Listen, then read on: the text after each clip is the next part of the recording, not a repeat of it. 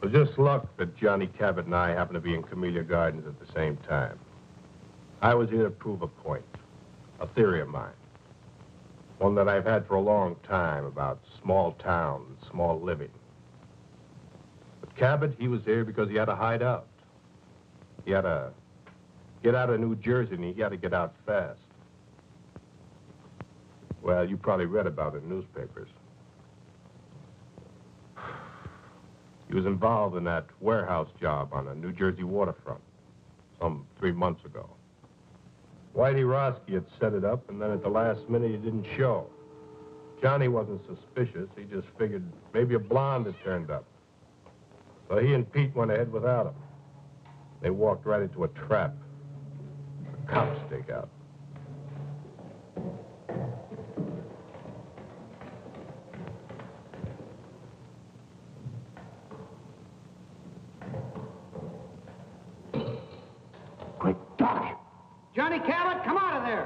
Stake out. Somebody ratted on us.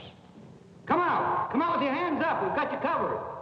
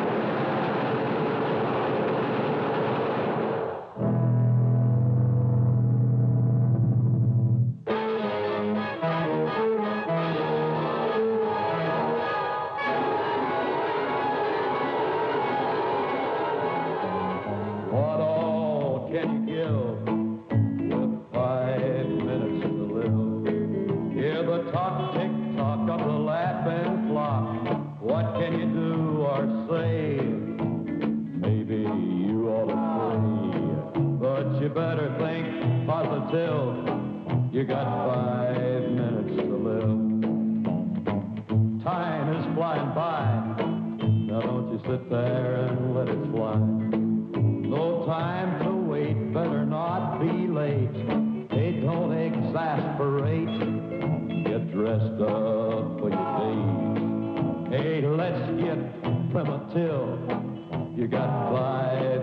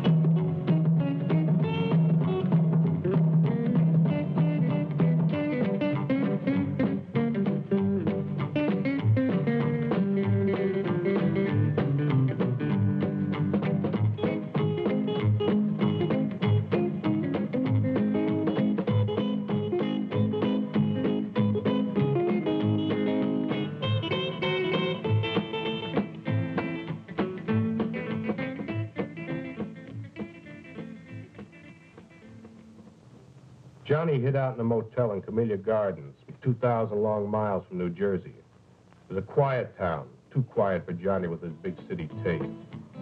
Well, he holed up in that motel room and he never went out. Just sat there, plunked on his guitar, and let his girl support him. She came out from New Jersey with him and took a job hashing in a local cafe. Used to be an entertainer. Played with a trio before Danny took him on. They were waiting for the heat to cool off. Need any help? Yeah, you can mend it.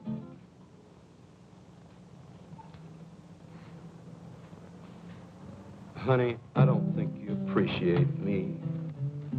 So what's to appreciate? All I want to know is how long we're going to rot in this two-bit town. I had a good job at that cocktail lounge in New Jersey.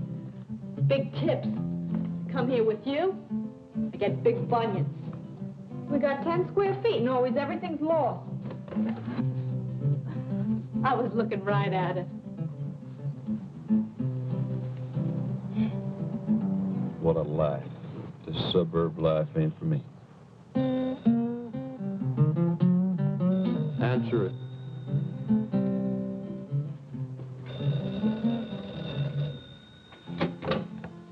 Hello? Doris, this is Max. Put Johnny on, will you? So who says Johnny's here? You put the dime in the wrong slot. Guy that knows Danny wants to see him. If I see him, I'll pass it on. Who's that? Oh, Max says he's got some friend of Danny's looking for you. Danny's. Give me that phone. Hey, I might find out who turned me into the police.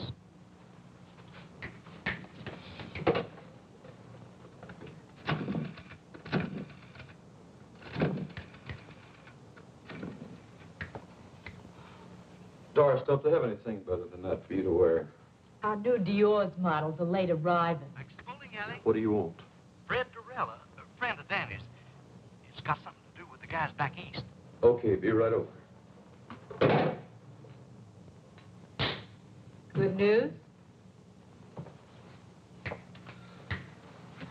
Looks like I'm back in the big time.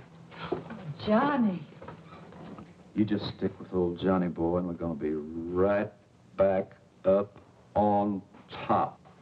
I made my first contact with Cabot through a friend of his who ran a bowling alley. Hey, Max. Max was a small-town punk, but he served my purpose. Yes, sir, Mr. Gorilla.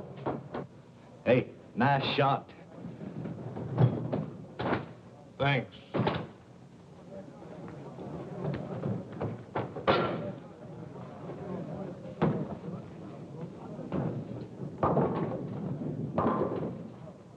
Another drink. Doreen?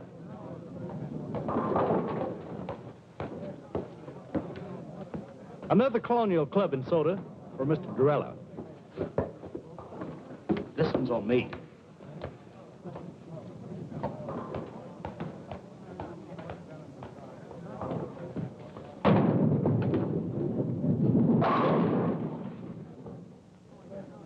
Hey, you really in on things. Do you really know who fingered Johnny? Max, you talk too much.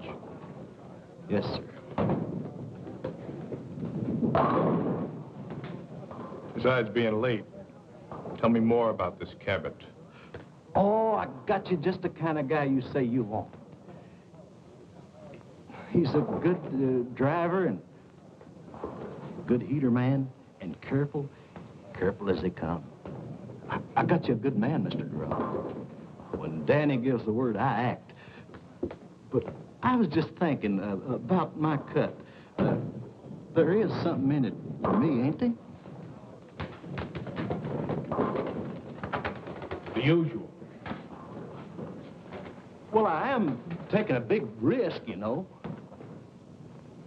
What big risk? Well, you know.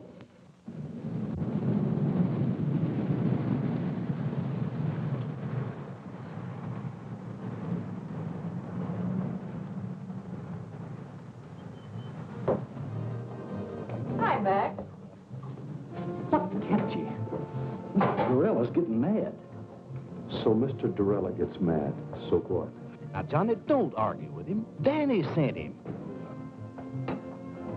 Now, what's Doris doing here? Why, Max. I just thought I'd do a little bowling.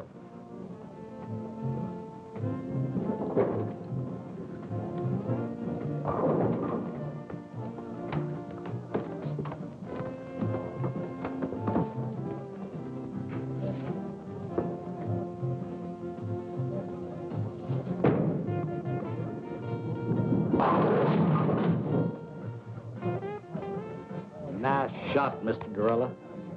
Johnny, this is Danny's friend, Mr. Gorella. That's Doris Jackson. Last time I saw you, it was Dory Gettle. Dory Gattle, you've got rocks. I never seen you before in my life. I would have remembered. Seen Whitey Rosky lately? The name's Doris Jackson, honey, and I don't know what you're talking about. She just come along for a ride. Get rid of her. Now, you wait just a minute. Johnny, take it easy, buddy. He knows who fingered you in New Jersey. Play it his way, will you? Look, mister, you got me mixed up with somebody else. Wait in the car. Look, honey. Y- you know me. I'm Doris Jackson. He's got me all wrong. I never even heard of a Dory Gettle. Never even heard the name before. I said wait in the car. Okay, if you say so. I gotta go to work anyway. I'll see you later, Judd. Yeah.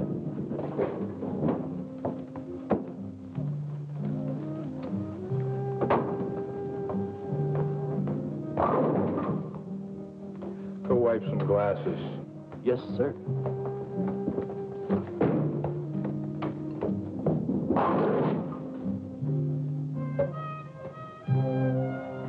I need someone with experience. I've been around.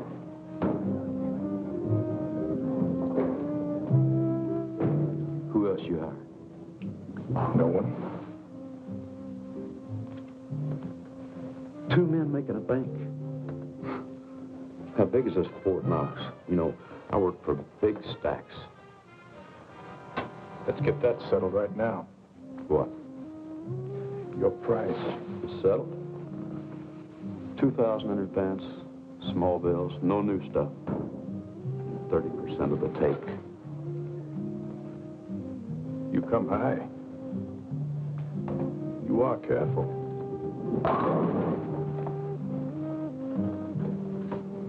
Like Max says, I've been in racket five years, and I've only done one little six-month stretch. I've been in it for 20 years. Only got to do one year. Time off for good behavior. So we're both careful. Now, what's the bank? Harbor Federal Trust. Harbor Federal Trust. And you're not hiring anybody else? No one. So long. I'll see you, pal. Sit down until I tell you to go. Look. You couldn't take that with an army tank and a whole company. You're right. But you can with one man. A good idea. One man. You, me. What makes them hand over the money? Hypnotism? Love. Small town love.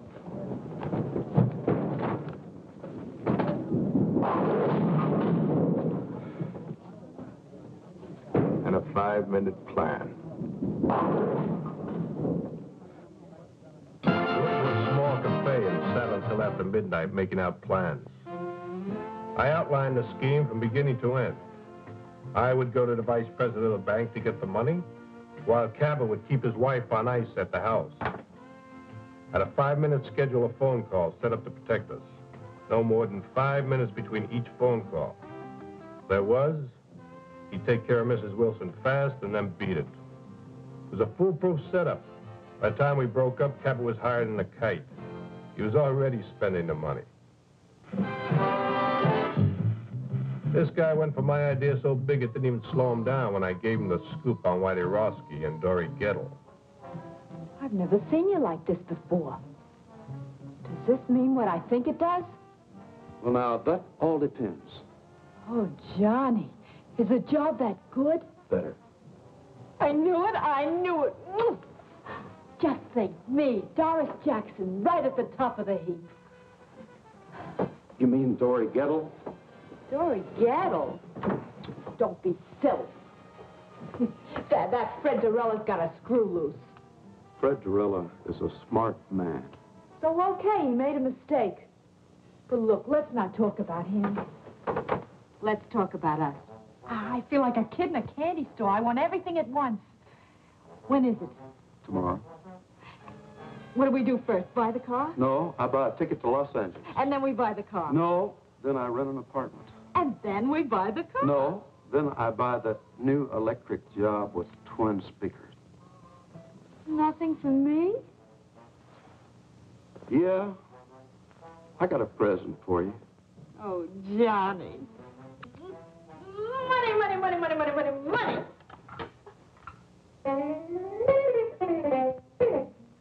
Oh, Johnny, we're going to be loaded.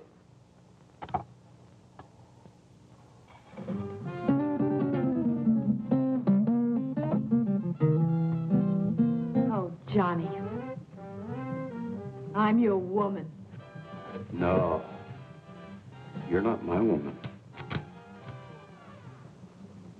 You're Whitey Roski's woman.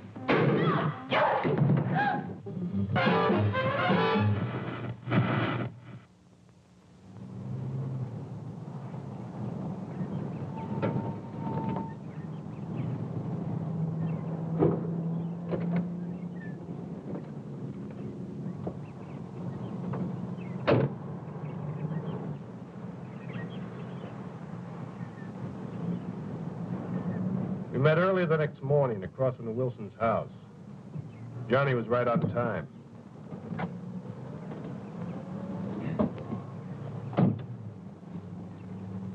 You'd even convince me. Yeah? Of what? You're okay.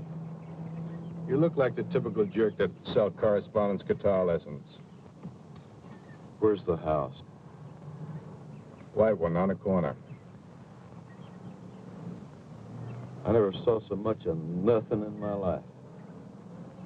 It's only a half a mile from the place you're staying.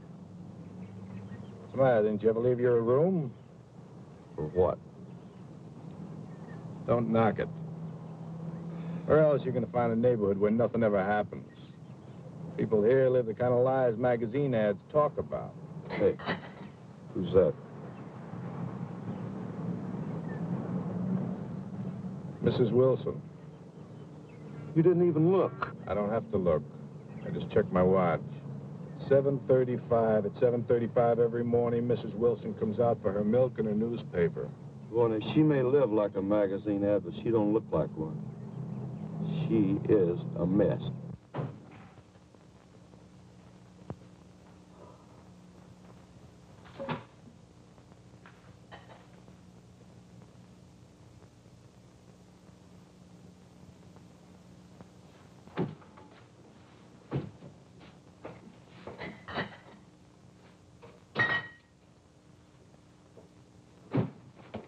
Breakfast. Ken, Bobby. Breakfast is ready.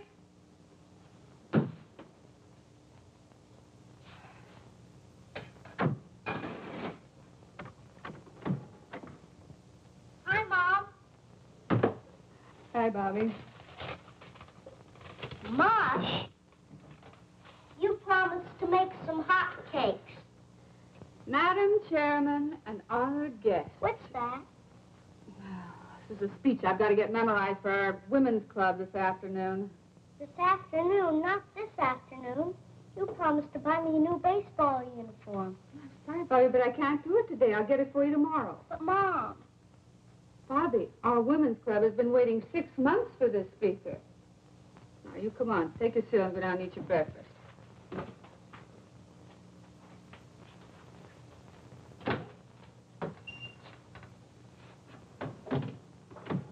Ken, breakfast is ready. Hurry up. You'll be late.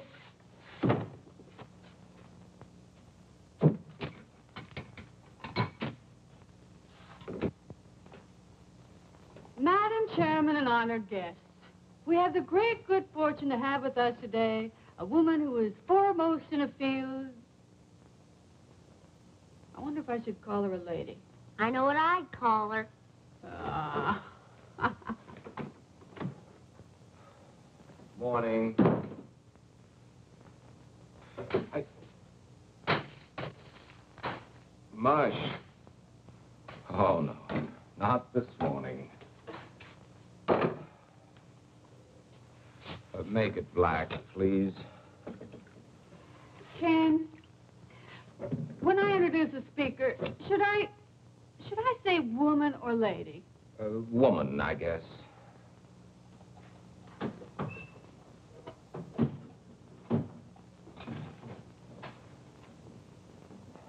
Oh, What's the matter, Pop? Are you sick? No, darling, your father is hungover again. What's hungover? Sick, sick. Had too much to drink, Pop? Young man, how would you like to leave the table without your breakfast? Can I leave the table? Now, that's a great threat. You eat your breakfast. Mush. Why were you out so late last night? Mr. Johnson, the bank again. Dad? Take me to buy a new baseball uniform this afternoon? Your mother will have to do it, Bobby. I have to work today. But Mom's busy. She's got to go to the women's club this afternoon, and I just gotta get it today. I just gotta. Just have to get it today, Bobby. Have to get it. Anyway, Pop, I just gotta. Tomorrow's the big game. Bobby, I told you I can't get it for you today, and I can't. That's all there is to it. I can't. But, Pop, Your mother's running things here, Bobby. If she says the women's club is more important than her family, then that's the way it has to be. Well, that's a fine thing to say. Well, it's true, isn't it? Of course not. This is an exception. An exception. You're so wrapped up in other people, you never have any time for Bobby and me. I used to have a wife, but now I'm living with the vice president of the Camellia Gardens Women's Club. Why, if I don't address you as Madam Chairman, I, I'm not recognized. Do you think I go to meetings because it's fun? It sounds incredible, but I do. I certainly do. I think it's the only thing you really enjoy.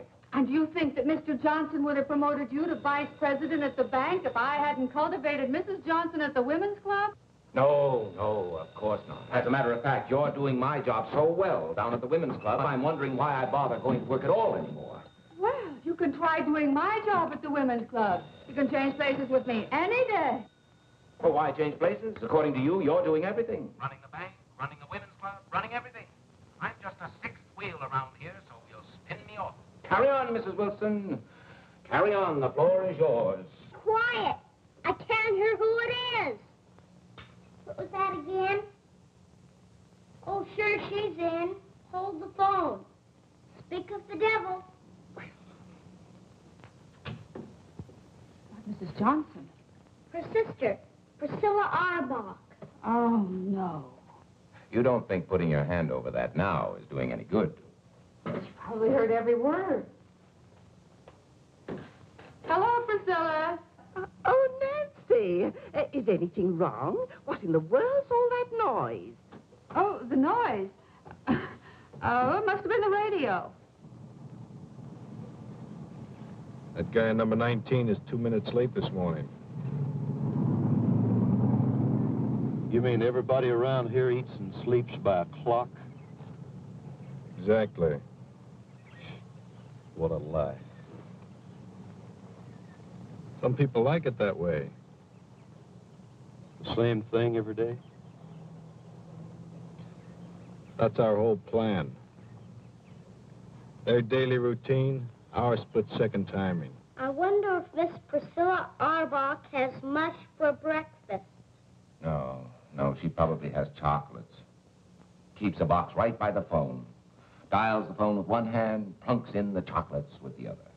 The early bird catches the worm, you know. Mm, Oh. Nancy, I want you to be prepared for a wonderful compliment. Now take a deep breath. are you ready? Mm. The committee has decided they want your Ken to Be president of the PTA this coming year. You've decided what? We've decided that we want Ken for... pre- Nancy, can't you hear what I'm saying? yes, I hear you. You say you want Ken for president of the PTA? What? Oh, no, no, no. I I don't think it's funny at all. Uh, no, I think Ken would make a delightful president. I want nothing to do with the PTA. As far as I'm concerned, the PTA can go to... Go where, Pop? Uh, never mind, Bobby. You, uh, go get dressed for school. I am dressed. Oh. Well, then, go brush your teeth. You know, this should certainly be a step up for Ken in our community.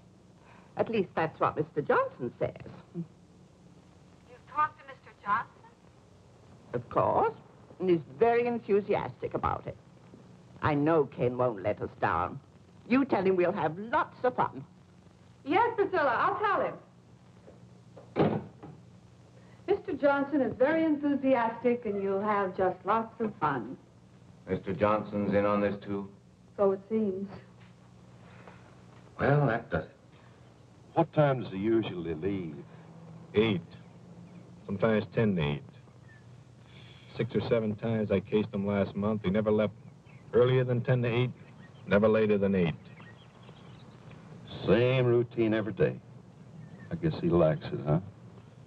Sure he likes it. He's got a happy home. Just chock full of love. Nancy, I have something to say to you. I think maybe we've both said enough. Now, please, Nancy, Darling, let's not fight. Seems like all we've been doing is fighting lately. look, I just want you to sit down there and listen to me for a minute. Now, will you do that? All right. I'm listening. Nancy, Yes.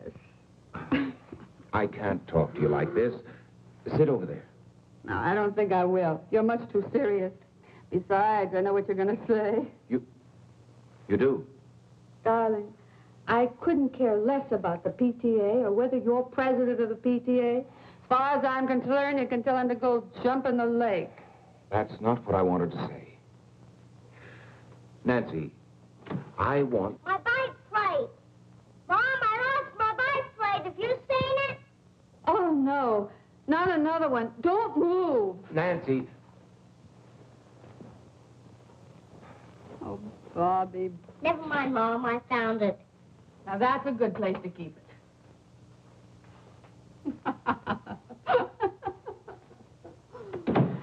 I'm sorry, darling. Now, what was it you were saying?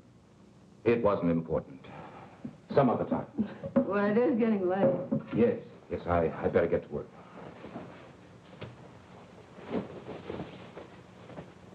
What'd you like to tell Priscilla? Oh, just tell her I'll think it over. This hangover's killing me. Maybe the whole thing will look better tomorrow. Well, I better hurry. It's ten of eight. Well, I'm a little late. Hey, haven't you forgotten something? Uh, have I? She wants a kiss. Bobby, what are you doing? Just studying Dad's technique. All right, young man, in the house.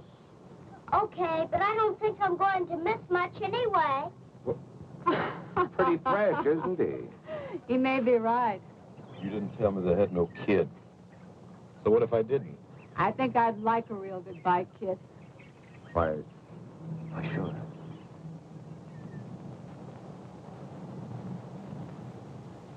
Hey, I hope Bobby's peeking through that window. In this kind of setup, you tell me everything, mister. I don't want to fool around with no kids. Now, you get rid of them or cut me out. What's with you and kids? I had one getting away one time, and I ain't going to fool around with no kids. All right, now you calm get down. You wait until the kid goes to school. So what time does he go? 8.15 on the nose. Every day at the same time? Every day at the same time. Bye, Nancy. See what I mean? Love. See you later. He's a guy that'll do anything for his wife. We're gonna make them do it.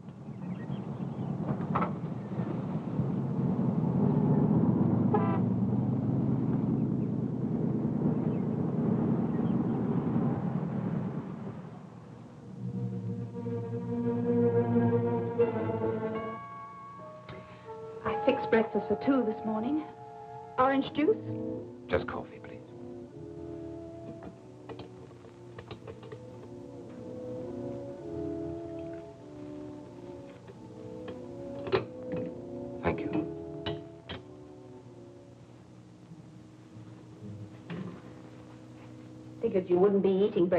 home today. I'm sorry, honey. It's the hangover. We had a pretty big night last night. Remember?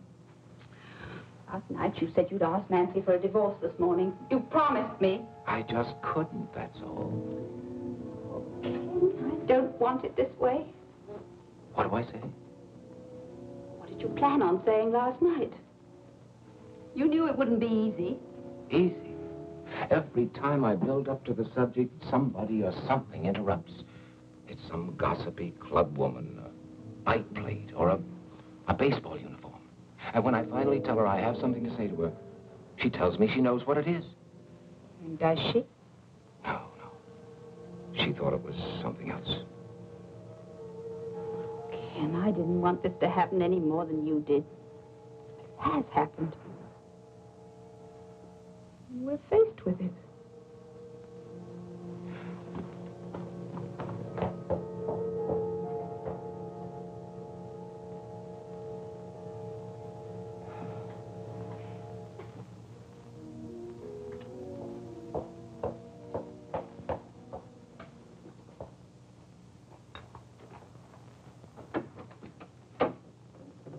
All right.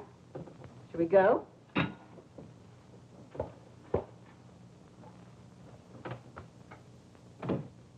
Now, listen, no one will make fun of your clean trousers, and if they should, you just tell Miss Forbush. Oh, uh, Mom, I don't want to be a snitcher.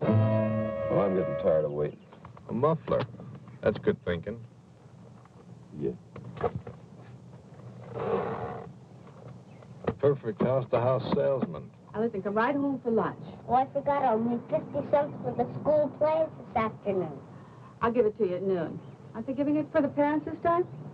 Sure, Tuesday night, but you don't want to go, do you? Why not? I'm not in it. I'm sure there are parents who go whose children aren't in it. Not very many. Well, I'll ask your daddy if he wants to be one of the not very many. I'll call you between 10.30 and 11. I'll be waiting. Off you go.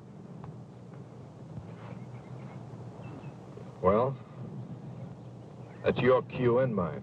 Right. Don't use that unless you have to. Wait the full five minutes. What else? Five minutes between each phone call. Don't get trigger happy. Everything was going on schedule. Just as I planned. Good morning, ma'am. I'd like to demonstrate a fine new product. I'm sorry, I never buy from a door-to-door sales. But, lady, I'll give you ten dollars if you guess what I'm selling. I bet you can't guess what I'm selling. Ten dollars. You certainly got a new approach. What's the catch? No catch, I promise. Go on, guess. Whatever it is, I won't buy. Oh, it doesn't matter. Go on, guess. what does it say? Obviously, you're selling guitars or guitar lessons or music. You're absolutely right. Here's your ten dollars. But for what? I can't take this. Here, take it Oh, back. No, no, I wouldn't think of it. You keep it. On. Keep it. But I'll tell you what, you could do me a big favor if you would. What would you like? I'd sure like to have a drink of water, ma'am. Oh, of course. You wait here. I'll go get you one.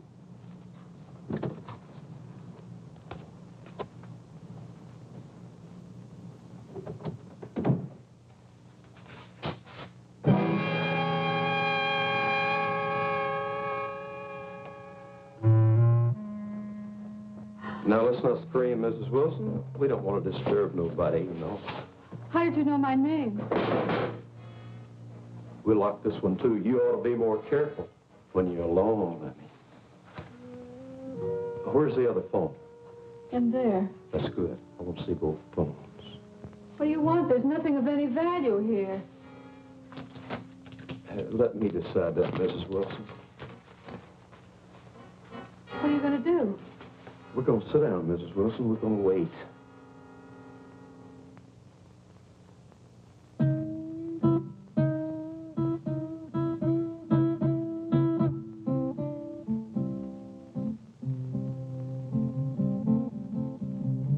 Must you do that?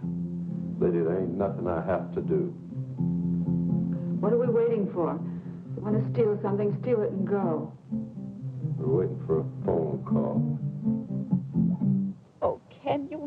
Nerve as long as we're in Camellia Gardens. So let's get out. Get out of Camellia Gardens. Let's go to, uh, to Las Vegas. We needn't even pack our clothes. Just leave. And you could phone Nancy from there. And what about my job? Well, we wouldn't have to stay long, just a couple of weeks, and then we could come back on our terms. Our terms. Why, Mr. Johnson would fire me so fast. All right, well, let's not come back. Let's forget the bank. Make a complete break with the past. Why should you spend the rest of your life doing things you don't want to do? What time does the plane leave? 6.15. You mean you'll go? Oh, Ken, I knew you wouldn't let me down.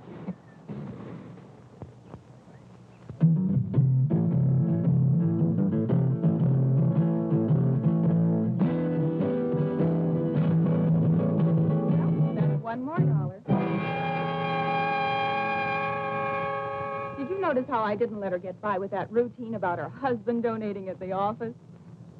Gert, I've just got to get home. Well, let's just try Nancy once more. I heard the radio shut off. Oh, my husband will be sore as an owl. Irma, remember the community fund. Well, you go on. I've got to go home. Oh, no. We'll wait till we can both come back together.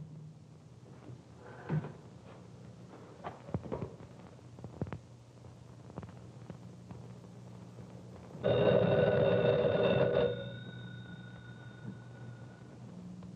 right, lady, answer. Don't try to pull anything. I'll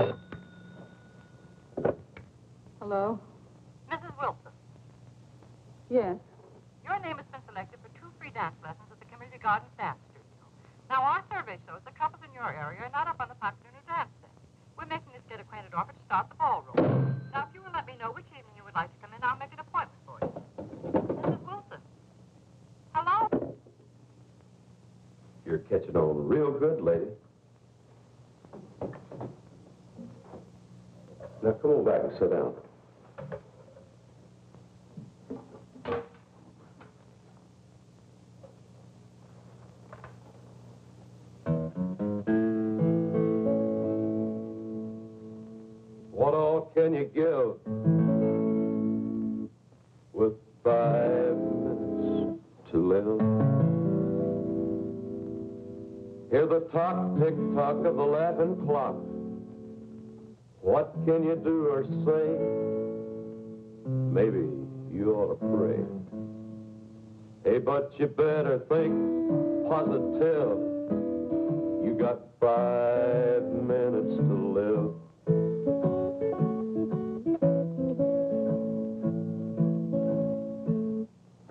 Do you want me to just sit here and listen to you sing? Knit. Knit? I don't knit. You don't knit. Why, you disappoint me, Miss Wilson. I thought you was a perfect wife. Me? You know, Miss Wilson, this is the first time I ever got this close to a perfect wife. And I've always wondered what one looked like.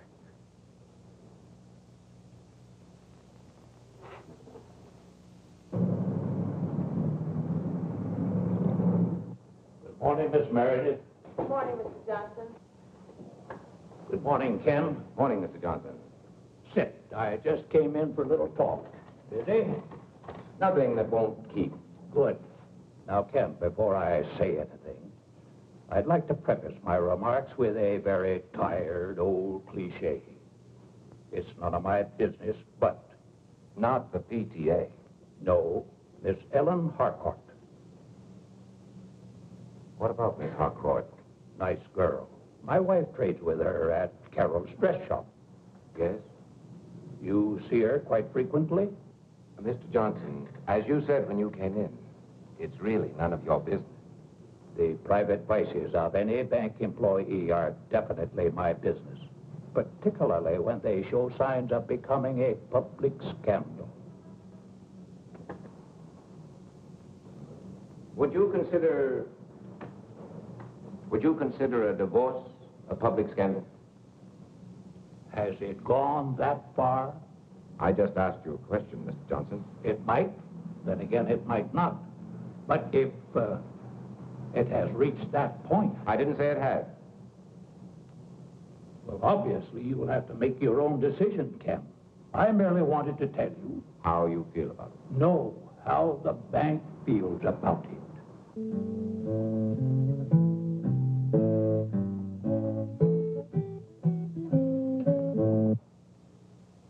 Are you an entertainer? No, Mrs. Wilson, I'm not. I'm a killer. Don't move.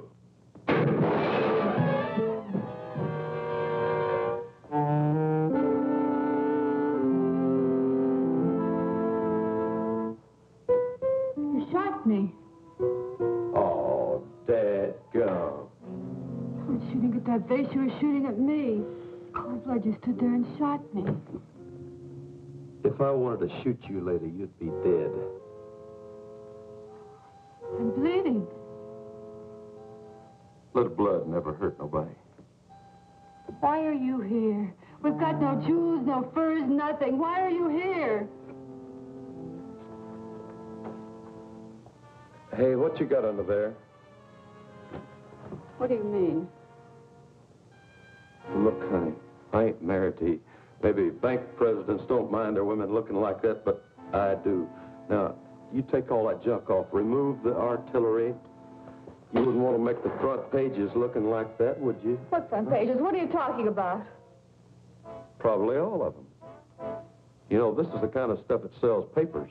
Now, you finish the job and hurry up, because I ain't got all day. And you, you ain't got hardly no time at all.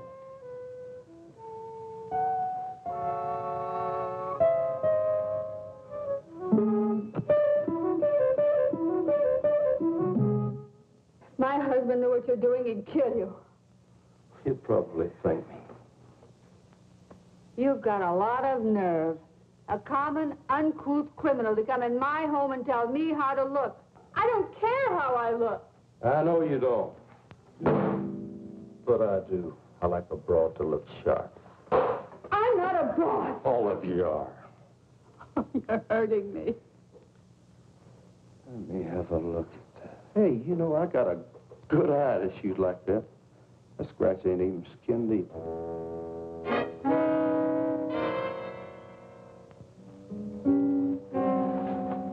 Take your filthy hands off of me. Get away from me. Why, Mrs. Wilson? Come on, shoot to me, babe. It in.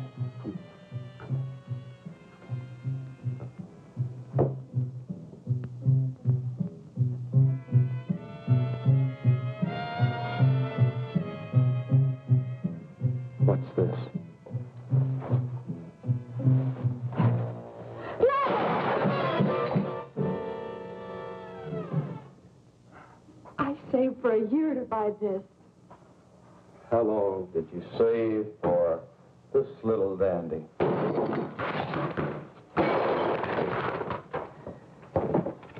Turnip ring.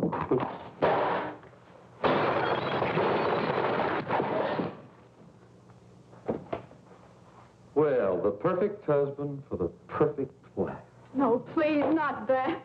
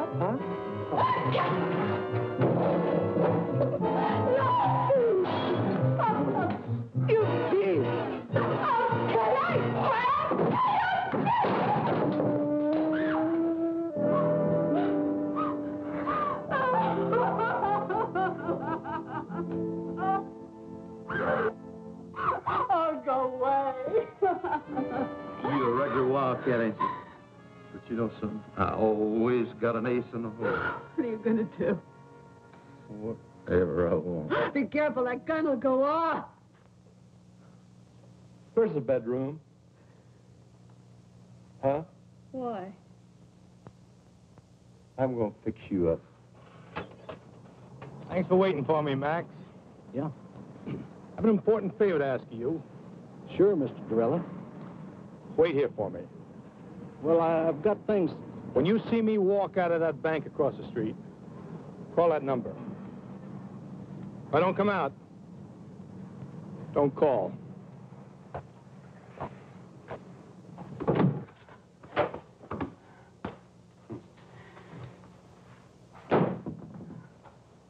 Leave it alone. I like a messy bed.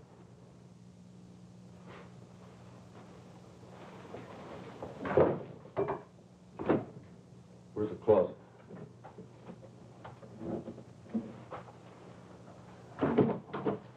Are you going to lock me in the closet? Not a chance, lady.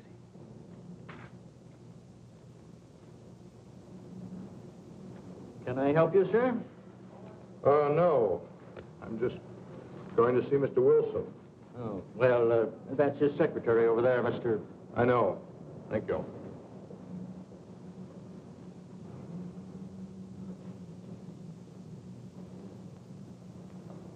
I speak with Mr. Wilson. Who shall I say is calling? Mr. Dorella. Fred Dorella of New York. Oh, yes, just a moment, please. Well, looky here what I found. The skeleton in the closet. Hey, where'd you get this? That was a joke, my husband's. When? Long time ago. I said when. About ten years ago. That's what I thought. You get this, and you wear that. You know, it's just about time you started wearing this little joke. Put it on. Put it on. Right now. No. Want me to scratch the other cheek? No, no, please. Hey, where are you going? You want me to put it on? That's what I'm going to do. I'm going to put it on. Uh, no. Not in there. Right here.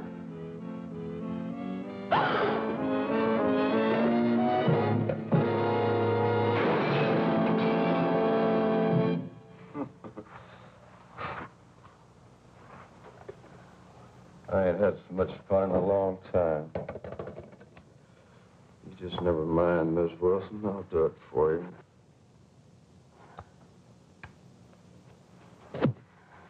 No, no.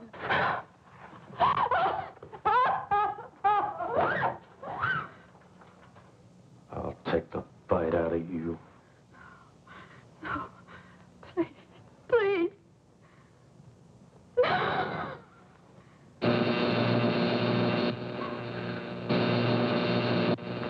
What's that racket? What is it?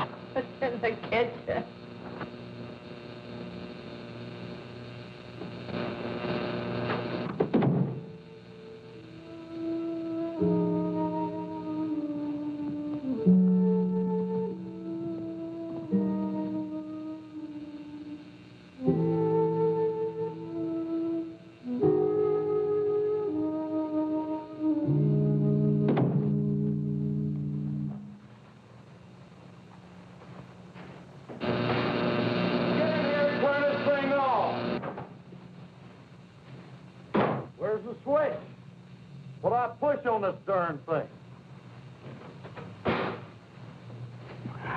If I can't outsmart that two-bit crook, I deserve to be shot.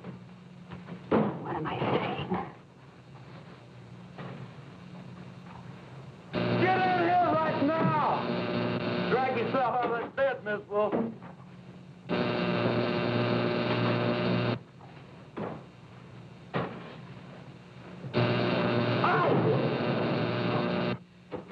If I could just make him believe me.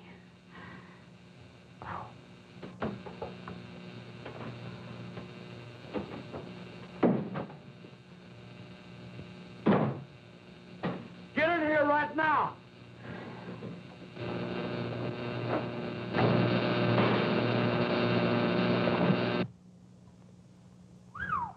Mrs. Wilson. I changed my mind. Hey, I guess you gals are all alike when old Johnny steps on your starter, huh? Yeah, I guess we are. We're all just the same. Big bore. Who you kidding? This is Christmas, and I just got the nicest package. And ain't you glad I came along? Yeah, I've just been waiting for you. You never had it so good, did you? No. We're both a couple of wild cats. And This little wildcat is all mine. Not while you've got that gun on you. Who are you kidding? Go on, put it on the table. Uh-uh. Put it on the table. Oh, go on, you like it.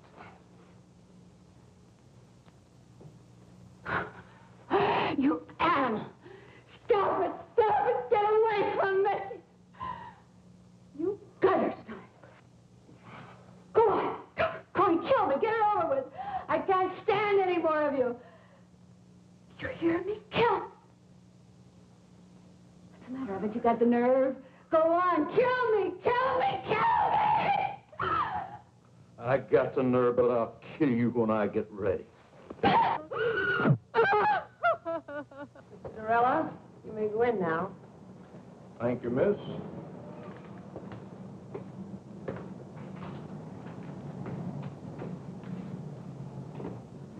Good morning, Mr. Dorella. Have a seat. Thank you, Mr. Wilson. Now, how can we be of assistance to you? I'd like to see you about cashing a rather large bank draft. All right. $70,000. This is rather large. Yes. But an okay from one of the bank executives should be sufficient identification. Oh, certainly, Mr. Dorella. I didn't understand. Which one of the bank executives here are you acquainted with? You, Mr. Wilson. What? You, Mr. Wilson. You'll okay it. Me? Why, I've never seen you before in my life. Oh, but I've seen you. As a matter of fact, I know you very well. You live at 12 Olden Drive. You have a son, Bobby, six years old. Your wife, Nancy, is a big shot in a women's club. Right now, she's at home with a friend of mine. A friend of yours? Well, let's say uh, a business associate of mine. That would be a better description. Mr. Dorella, what is this? Very simple, Mr. Wilson. This is a holdup. What? Until you okay that bank draft there, and we cash it together here, your wife is in very serious danger.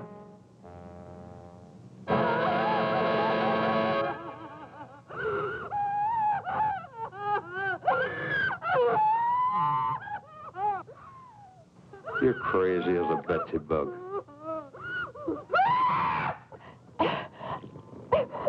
Enough of that. Shut up. Turn it off.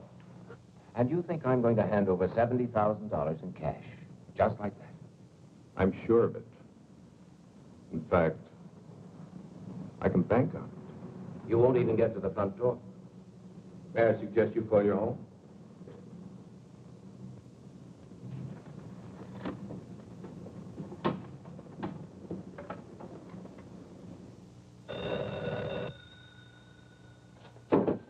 All right, answer.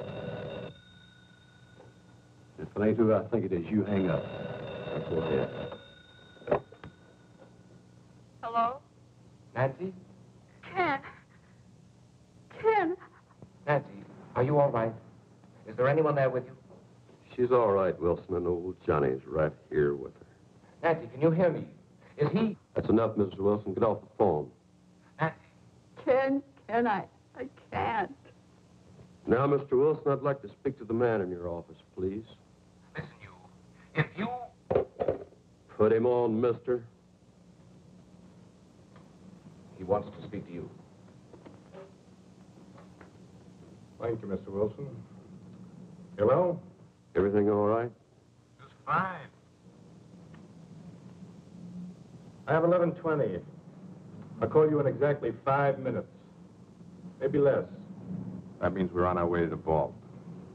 You got that? If I don't call you within five minutes, go ahead.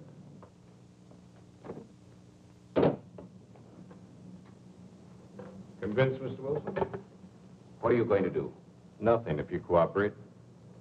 I plan to walk out of this bank with $70,000. And if I don't cooperate?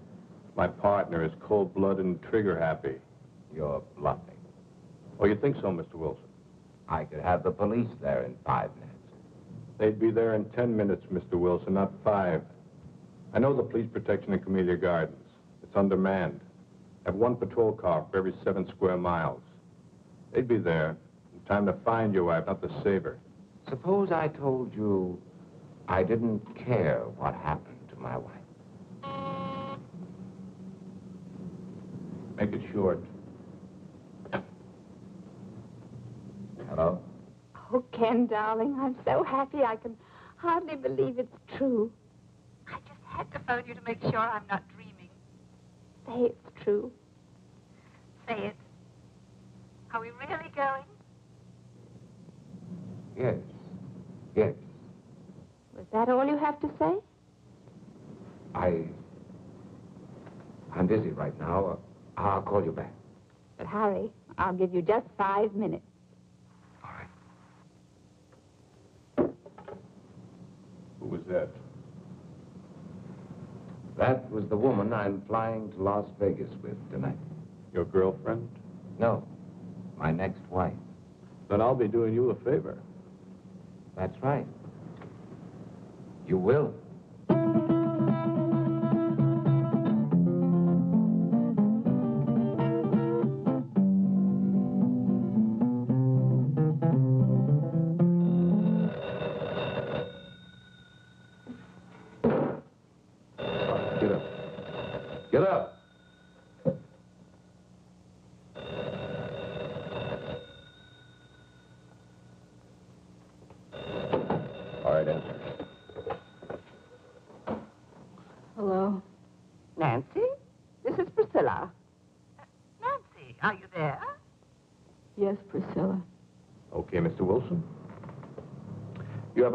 And 38 seconds.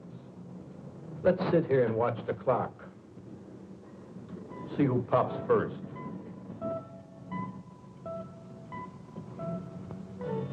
Priscilla, I can't talk now. Don't forget, Nancy, when I want something, I get it. Bye, Priscilla.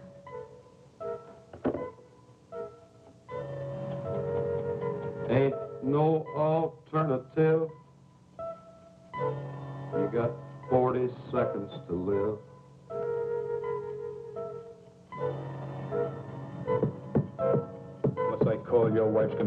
35 seconds. And you'll go to prison. I'll be a convict. You'll be a murderer. I'm not murdering anyone. 26 seconds. But you can't just walk into a house and kill a defenseless woman. My partner will. 17 seconds. It takes 12 seconds to dial, Mr. Wilson. Make up your mind.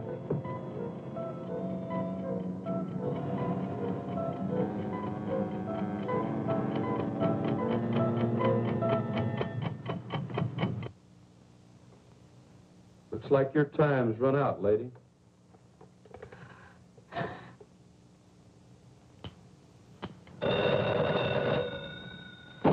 You're sure taking your time today. All right, all right. I know this is the final stretch. 11.30.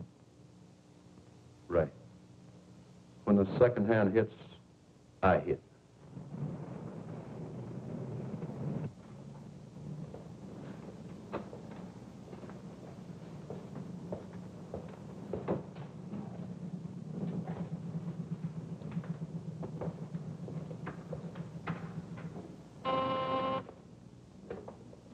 Hello?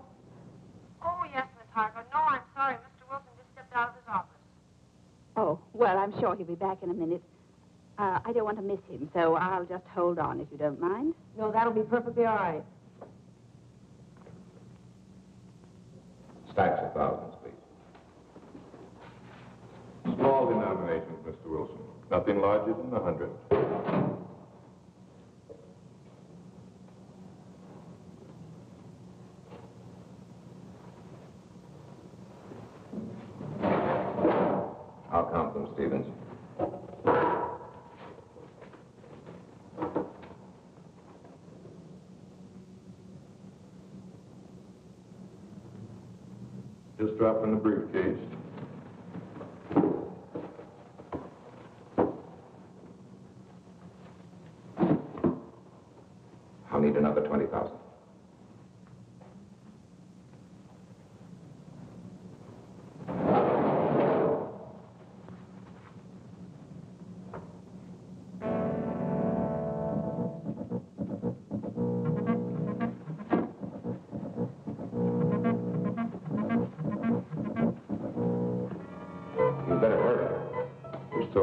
Time. I'll make my call after I leave the bank, Mr. Wilson. Yes, yes, of course. I still have another minute for that. Thank you, Stevens. Thank you for your cooperation, Mr. Wilson.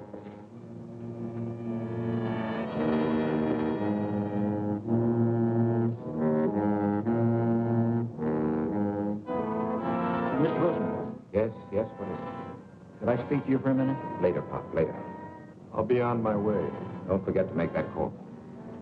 Now, hold on there. You stop or I'll shoot.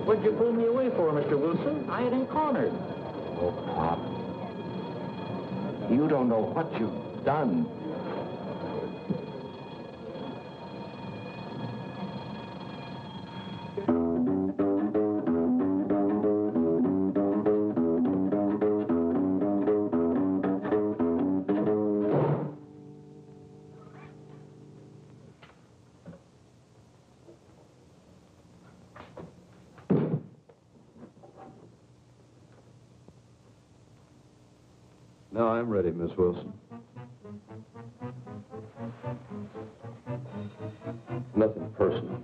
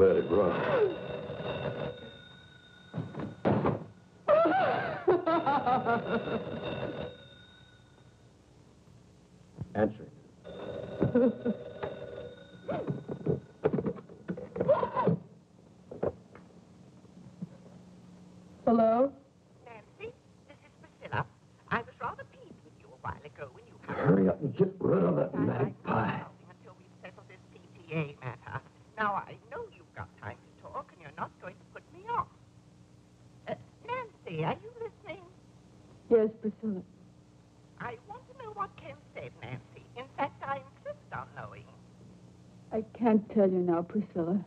Nancy Wilson, what kind of an answer is that? What did he say? He wants a few days to think it over. Think it over. Oh, that's just like a man. Big executives, and they can't even make a simple decision about a simple little organization like the PTA. Well, you get him to tell you tonight. You know how men are always avoiding their civic duty, and this mustn't happen. I said get rid of her. I'll try, Priscilla. Try. You've got to get him to say yes, and tonight. Priscilla, I've already talked to Mr. Burgess. You know the cute little bald one. And he told me he'd be honored to serve under Ken. I can't talk, Priscilla. I must say goodbye. No, you don't, Nancy Wilson. We won't leave this to chance, Nancy. We've got to remind Ken You better get rid of her now. to Bobby. That fine, wonderful little chap. I'll do my best. Don't you try to put me off. There are lots of other things we ought to discuss. We haven't even. I said hang up. That's important, Nancy. Very important. And then there's I'm sorry, Priscilla, but kiddies during vacation. They simply must have a place where there's adequate supervision. They I need it now. can't talk any longer, Priscilla. And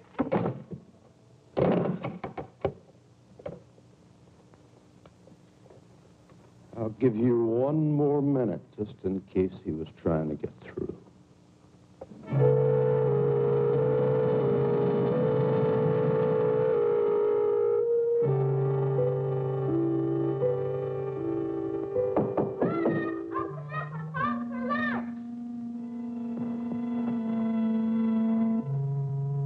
Except with no kiss, so you get him out of here. Get him out.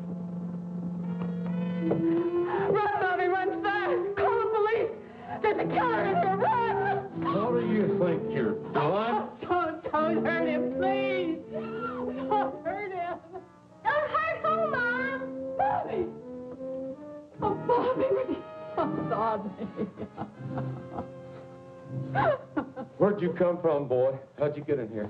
Answer me! Through, through the den. Have you got any friends out there, kid? Bobby, why didn't you go when Mommy asked you to? I didn't hear you. What's he doing here, Mom? Why'd you have to come home, boy?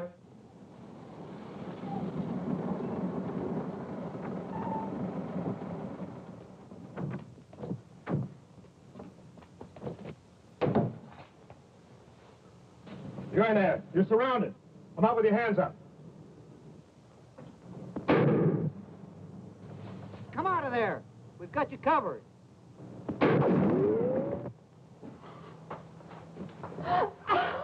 Where's that other door? It's in there. I'm warning you, this is your last chance. What are you going to do? Calm Oh,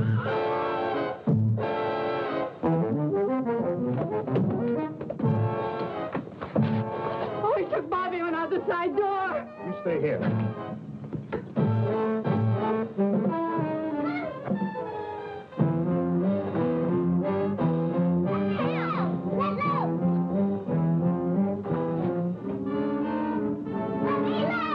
All right, drop it. Drop your gun.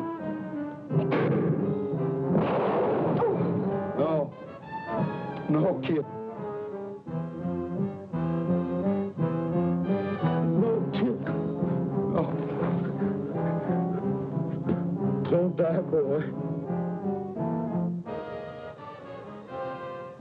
Sorry, boy.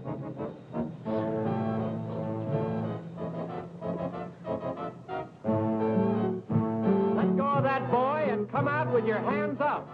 You come get me, me and this kid you killed.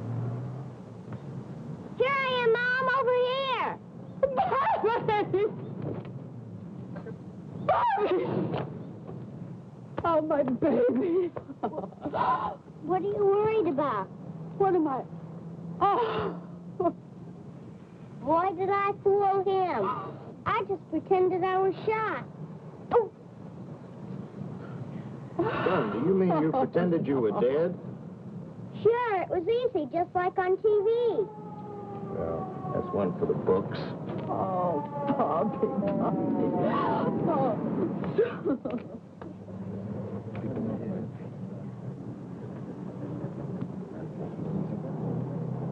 Nancy, Nancy, are you all right? Oh, Ken, yes, we're all right now. Well, don't try to talk about it now. I want you to listen to me. Yes. Listen carefully. Send Bobby over to your sister's, then pack our suitcases. We're going to take a vacation. Vacation? Yes, we're going to Las Vegas this evening. Oh, Ken, you're mad. I could never get packed back for Las Vegas. Then don't pack anything. We'll buy something there. Darling, I'll be home very soon. And I love you very much. Oh, darling, I love you too. Oh, oh no! No, no, go away! Please don't! Oh, Ken, I've got to hang up. I can't talk any longer. He's snapping pictures of me, and I, I'm wearing that horrible negligee you gave me. Stop it, do you hear? Let me change my clothes. Nancy, listen to me. Will you go? Yes, darling, I love you. Come home. Goodbye.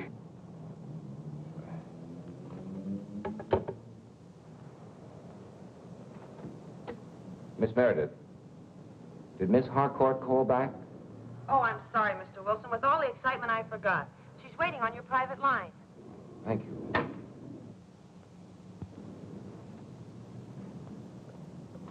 Ellen? Ellen, are you there?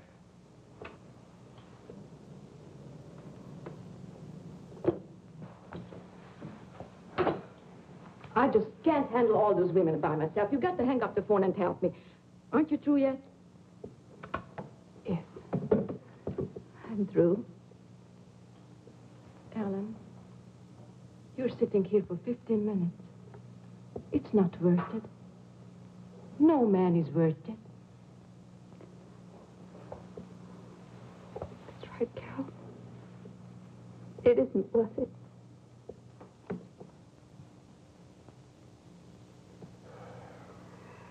What's my story? I've got nothing more to say.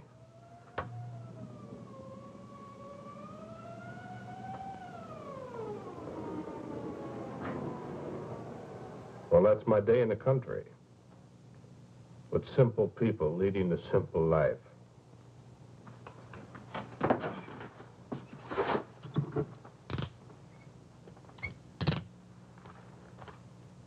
Ah.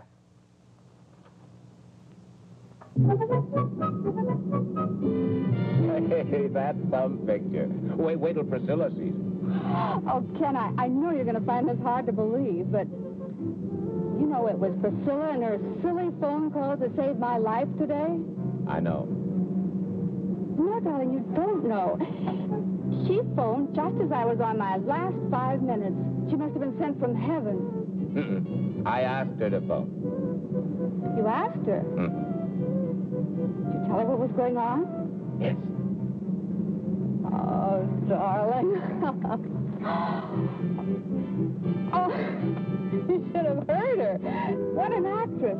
She was magnificent. As usual. Oh. What's the matter now?